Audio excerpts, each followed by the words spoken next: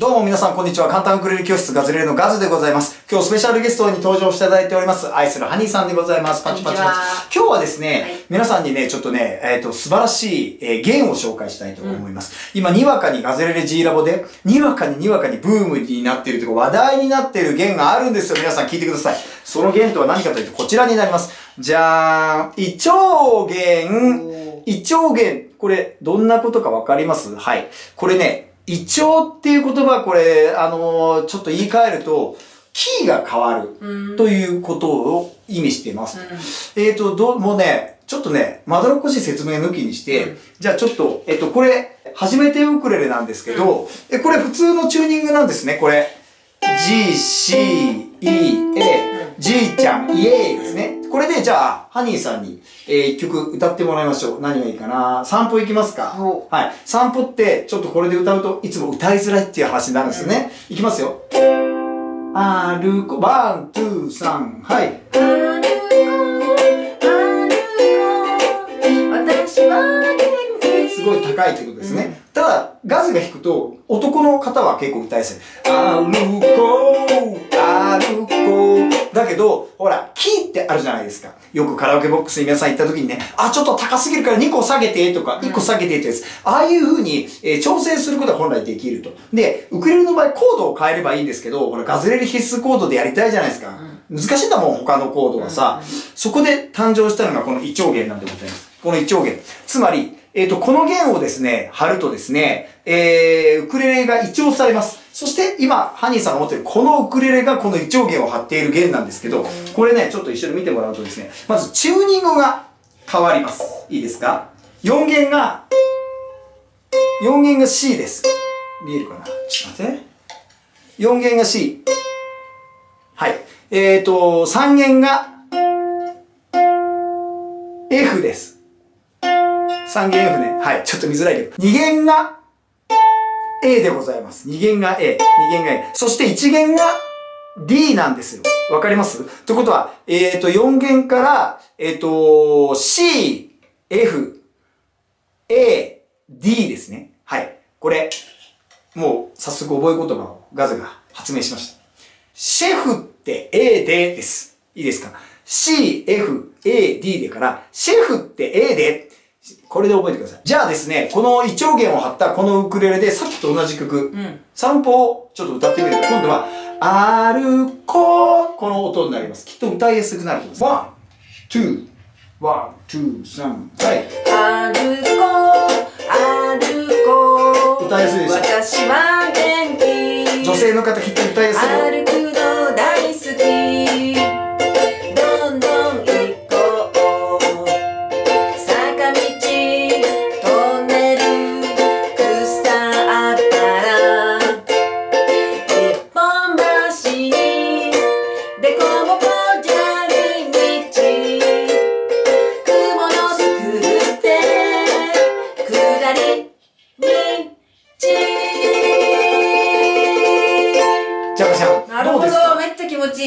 ちなみに普通のチューニングだと、超高くて歌えないんですよ、そうあのね極端に高いか極端に低いかになっちゃうそう。皆さん、これが胃腸弦の凄さでございます。今までガズレレ必須コードでガズのウクレレでレッスン動画やってて、歌いづらいな、歌、大好きな歌なんだけど、私にはき声の高さが合わないという方は、こちらの胃腸弦を貼っていただくと、えー、このようにですね、かなり歌いた、歌いやすくなるんじゃないかと思います。つまりですね、C を押さえてるじゃないですか、ここ C の場所。これ、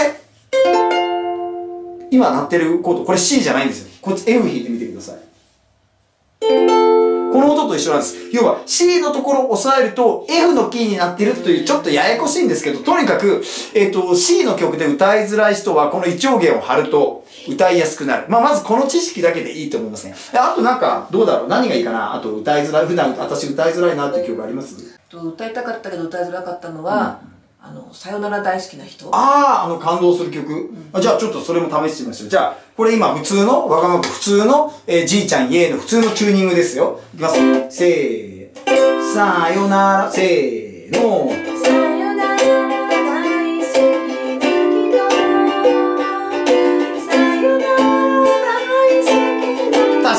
ちょっと歌いづらい高すぎるんだよねそう。じゃあちょっとじゃあこれで言ってみましょう。またじゃあこれ、胃腸弦の、あのーウクレレで言ってみますと、さよならですからね。せーの。さよなら大好きな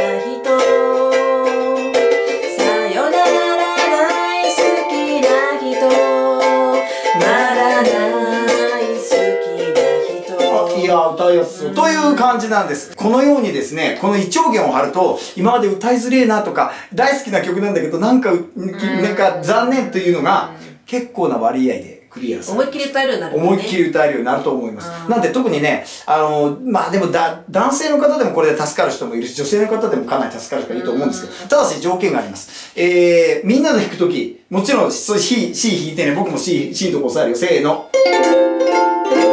全然違うんですよ。当たり前です。チューニングが違うんだから。だからそれは叶わないんですけど、例えば、えーチーム3人で同じ一丁弦を張れば、そこではね、ハーモニーできますよ。で、ガズレレの楽譜をそのまま、まんま見て、要は、もうチューニングを変えてるだけだから、押さえる位置を変える、変えなくてもいいんですよね。これが一丁弦の全てなんです、皆さん。はい。で、この一丁弦はどこで変えるかというと、ガズレレ公式ホームページ限定発売なんですね。なんで、えっと、ちょっとここの公式ホームページのここのね、いろいろガズレレグッズこちらみたいなところで買えるようになってますんで、ぜひ皆さんちょっとね、あの、ゲットしてください。で、この一丁弦なんですけど、ここ見たらわかるんだけど、ちょっとね、これ見えるかな？ここ2回分入ってるんですね、弦が。なんでこれかなりお買い得だと思います。そして、これちょっとね、あのー中見てもらうと、こういう風に、えっ、と、弦がね、2セットこういう風に入ってるんですよ。2回分だから。で、1個ずつちゃんと分かりやすいように色でですね、この何弦は何色っていうのも表記してありますからね。その辺のことをここに詳しくこう書いてあるんで、優しいでしょ？はい。えーこの通りにチューニングして、えちょっと貼ってみてください。はい。もう一回確認するけど、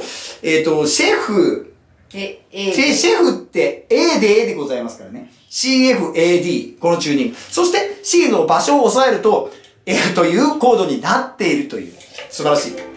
ガズの大発明でございます、皆さん。はい。これが一丁弦の今日のご案内動画でございました。ぜひ今までね、あ、ガズさんのこのアレンジだと簡単に弾きやすいんだけど、ちょっと歌いづらいという方、助かりますよ、これは。